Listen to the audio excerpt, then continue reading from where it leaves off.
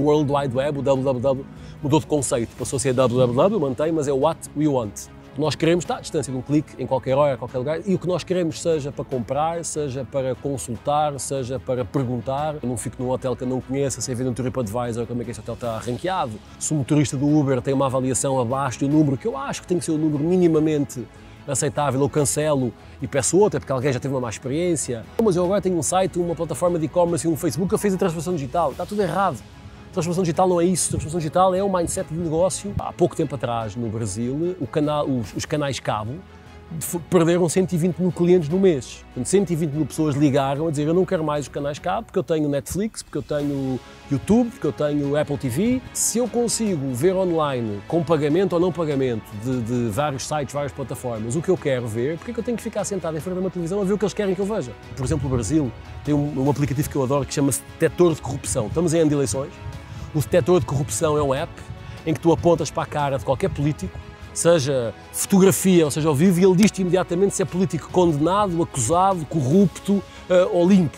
Pá, isto é brutal. Aceita que o mundo é outro, aceita que o mundo mudou, aceita que o mundo é digital, aceita que a, que, que a democratização da informação e do conhecimento está aí e aceita que o poder deixou de estar na mão da empresa, passou a estar na mão do cliente. Quem fizer SWOT hoje está a perder tempo.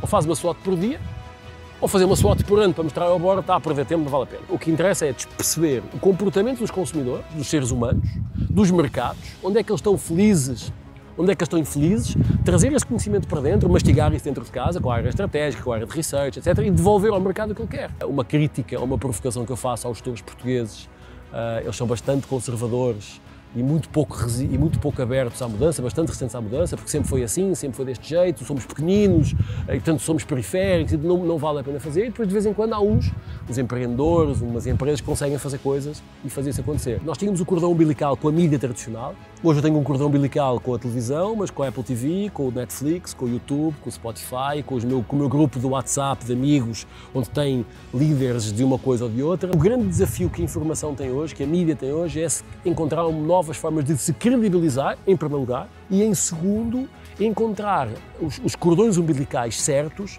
para chegar às populações, aos seus, aos seus clientes. Portanto, alguns serão pela rádio tradicional, outros serão pelo aplicativo, outros serão pelo site quando está a trabalhar na empresa. O futuro, Black Mirror, já chegou. Quem quiser resistir a isso está, está, está a querer empurrar o vento. E a educação continua a colocar uma sala de aula com toda a gente em plateia, a enfiar goela abaixo a informação exatamente igual, ou obrigar que a pessoa na prova ou na tese ou o que for diga aquilo que os outros já disseram, portanto, liberdade zero para criar, para, criar, para pensar do novo. Entrevistámos 4 mil estagiários e treinistas, portanto, malta entre os 22 e os 26 anos, eh, e perguntávamos-lhe várias coisas, uma delas era, daquilo que aprendeu na faculdade, o que é que você utiliza na sua função hoje? 60, 70% deles disseram que só utilizavam de 10 a 20% do que aprenderam. E às vezes eu falo aqui com alguns professores em Portugal que ainda continuam quase com acetato e com, com aquela canetazinha de álcool. Estamos a brincar.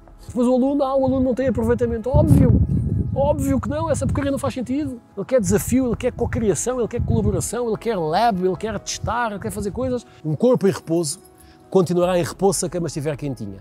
E o que acontece às televisões? É que elas estão em camas quentinhas, sempre, sempre deu jeito, sempre foi porreiro. De repente tens uma OTT a lixar uma Sport TV, mas fez porque a Sport TV não se mexeu. E achou que, não, isto camas quentinhas, ninguém, vai, ninguém vai dar cabo do nosso negócio. De repente alguém corta aquela porcaria toda e redefine a regra do jogo sem problema nenhum.